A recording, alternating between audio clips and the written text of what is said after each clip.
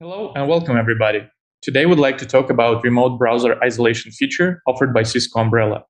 Remote browser isolation protects identities from potential malware and other threats by redirecting browsing to a cloud-based host. A remote browser is delivered to the users. It is hosted on a physically isolated server built to handle cyber risks.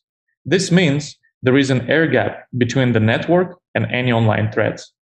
RBI doesn't require any additional clients or software to be installed. Users are able to view necessary information displayed on a web page while the solution isolates any malicious code. So now let's see what you need to do to enable remote browser isolation in your dashboard. You will need to create a new rule, give it a name, choose the rule action isolate, apply identities, which can be AD groups, AD users, network tunnels, networks, as well as roaming computers. Choose the categories which you want to enable for categories and destinations that you want to enable for isolation. They can be applications, content categories, or destination lists. You also can set isolation for any destination.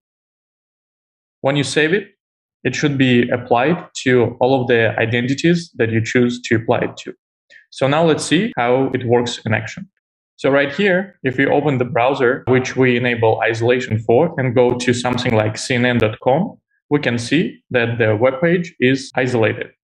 We also can check something like match.com, which is a dating website, and it's supposed to be isolated as well. You can see here that this page is isolated.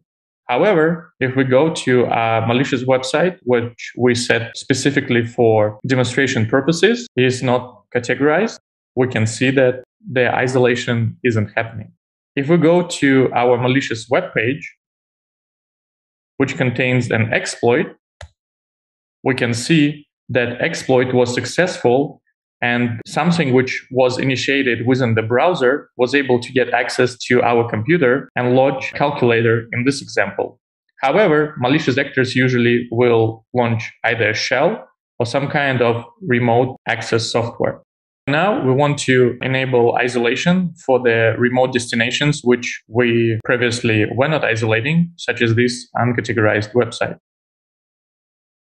Go to our rule and edit it and in the destination, now we're going to choose uncategorized to be protected from that exploit that I just showed you. We save the policy. And now let's see how it works. Let's check if it's still isolating news portals. Indeed, the isolation still works. And now let's go to our malicious website, which now has to be isolated.